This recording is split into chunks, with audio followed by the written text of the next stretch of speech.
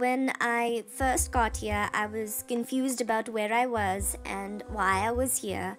The family I worked for before said they owned me. They told me to lie about my age and my name, so I always did. But the teachers at the center helped. One of the first things they taught Priya was that no one can be owned. They taught her that each person has unique qualities and traits and that she should be proud of who she is.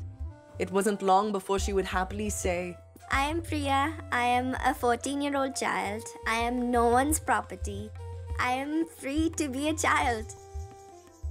The caregivers here asked me what I wanted to be when I grew up. I had a choice.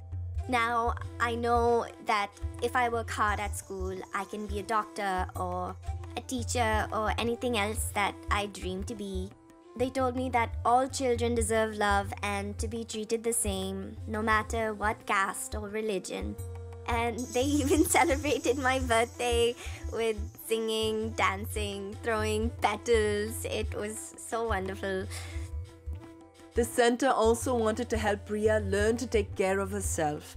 The first thing Priya learned was to trim her nails, to wash and brush her teeth every day. I wasn't sure how to do this at first, but the caregivers told me that it's fine to ask questions. Now I'm an expert. And then she had a haircut. It was the first time in years. Then Priya chose some fresh clothes and shoes. The caregivers also told her about the normal changes that happen in people's bodies as they grow up, so she didn't feel embarrassed when they started. Another new experience was having a routine. Regular meals meant that Priya never worried about when she would next eat, and that was only the beginning. From morning exercise to classroom lessons, and from art to music to meditation, the days are always busy. It was hard at first, but I soon got into the swing of things. At the end of this, with clean clothes, clean teeth, tidy hair, and a busy daily routine, Priya felt like a new person.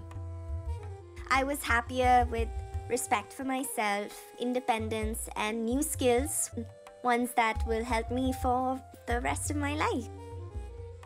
The better Priya felt about herself, the more she wanted to be with other people.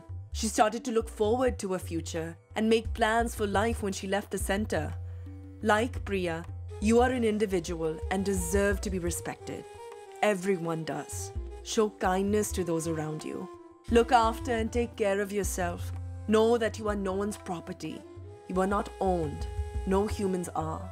You can learn to laugh out loud, play games, and have fun with your friends. And be curious about the world around you. You should enjoy your childhood. Remember that there are people who care about you and your well being.